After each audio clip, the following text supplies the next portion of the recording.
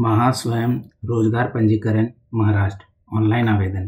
तो महाराष्ट्र सरकार ने इस पोर्टल को लॉन्च किया है। इस ऑनलाइन पोर्टल की सुविधा महाराष्ट्र के बेरोजगार लोगों को दिए जाएँगे, जो रोज़गार की तलाश कर रहे हैं। और राज्य के शिक्षित बेरोजगार जो हैं, जो लोग इस महास्वयं ऑनलाइन पोर्टल पर जाकर अपना ऑनलाइन पंजीकरण कर सकते हैं, और इस पोर्टल पर विभिन्न संस्थानों द्वारा जारी की गई नौकरी की सूचनाओं को आसानी से युवाओं तक पहुँचाया जाएगा। तो जो भी संस्थान अगर नौकरी के लिए कोई ऑफ़र निकालते हैं या तो इस पोर्टल के ज़रिए आपको इन्फॉर्मेशन मिलते रहेगा। महास्वयं रोज़गार पंजीकरण के लाभ। ये क्या क्या लाभ है? पहला है, इस ऑनलाइन पोर्टल का लाभ राज्य के बेरोजगार युवाओं को प्रदान किया जाएगा। जो बेरोजगार युवा हैं, वो लोग को। दूसरा है, पोर्टल का परीक्षण संस्थान भी अपना रजिस्ट्रेशन करवा सकते हैं। जो संस्थान है, जो जो इंस्टीट्यूट सब है, वो सब भी इसका रजिस्ट्रेशन करवा सकते हैं। और अपना वे संस्थान का विज्ञापन यहाँ दे सकते हैं, विज्ञापन कर सकते हैं। इसी के साथ वे यहाँ ट्रेनिंग के लिए रजिस्ट्रेशन करवा कर रजिस्ट्रेशन फ़ीस भी यहाँ से प्राप्त कर सकते हैं। रजिस्ट्रेशन फ़ीस भी मिल सकता है। इस पोर्टल के द्वारा राज्य में भी इस तरह का कौशल परीक्षण, नौकरी की वैकेंसी और विकास से संबंधित जानकारी एक स्थान पर आसानी से मिल सकता है। तो जितने भी इंफॉर्मेशन है, आपको इस पोर्टल के थ्रू मिल सकता है।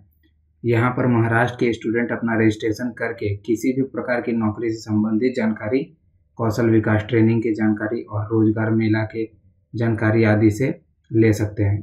इसके अलावा वो यहाँ से नौकरी के लिए अपना रजिस्ट्रेशन भी कर सकते हैं। महास्वयं रोज़गार पंजीकरण के दस्तावेज़, इसके क्या क्या दस्तावेज़ लगेंगे? आधार कार्ड, शैक्षिक योग्यता का प्रमाण पत्र एक्वायर्ड स्कूल सर्टिफिकेट निवास प्रमाण पत्र mobile number passport size photograph माता पिता का राज्य में नौकरी का प्रमाण एमएलए या फिर सांसद द्वारा जारी प्रमाण पत्र नगर परिषद या सरपंच के द्वारा जारी प्रमाण पत्र निवास प्रमाण पत्र और राजपत्रित अधिकारी या स्कूल प्रमुख द्वारा प्रदान किया हुआ पत्र। तो आपको इसमें रजिस्ट्रेशन करने के लिए इसका ऑफिशियल वेबसाइट में आ जाना होगा। www.mahaswayam.gov.in इसका ऑफ़िस आने के बाद आपका ऐसा होम पेज खुल जाएगा। होम पेज खुलने के बाद आपको यहाँ एम्प्लॉयमेंट जो यहाँ लिखा हुआ दिख रहा है, इस पर आपको क्लिक कर देना है। इस पर क्लिक करने के बाद आपका नेक्स्ट पेज जो खुलेगा, इसमें आपको जॉब सीकर्स लॉगिन खुल जाएगा। तो इसमें आपको न्यू रजिस्ट्रेशन करना है तो आप रजिस्ट्रेशन में रजिस्टर जो यहाँ लिखा हुआ है, इस पर आपको क्लिक कर देना है। इस पर क्लिक करने के बाद आपका यहाँ पे न्यू जॉब कीपर देखिए न्यू जॉब कीपर रजिस्ट्रेशन खुल गया। तो इसमें आपको फ़र्स्ट नेम यहाँ और लास्ट नेम भरना है या मिडिल नेम भरना है।